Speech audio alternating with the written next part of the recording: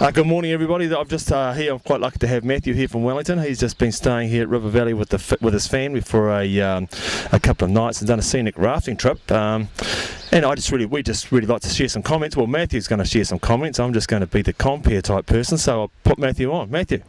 Hi. Uh, as Brian said, Mathew from Wellington. Been here with my wife and two girls, aged 13 and 11, and we've had a fantastic time at River Valley. Uh, the scenic uh, rafting trip was just perfect for us today, and we had a fantastic guide who looked after us the whole way. Real emphasis on safety, which was very important to us, but also an emphasis on having fun. Great picnic lunch in a marvellous spot, and we even got a little bit wet at the end uh, because we wanted to.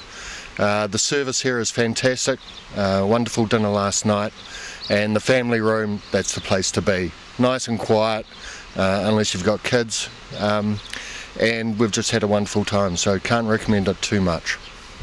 So, Mathew, thanks very much for that.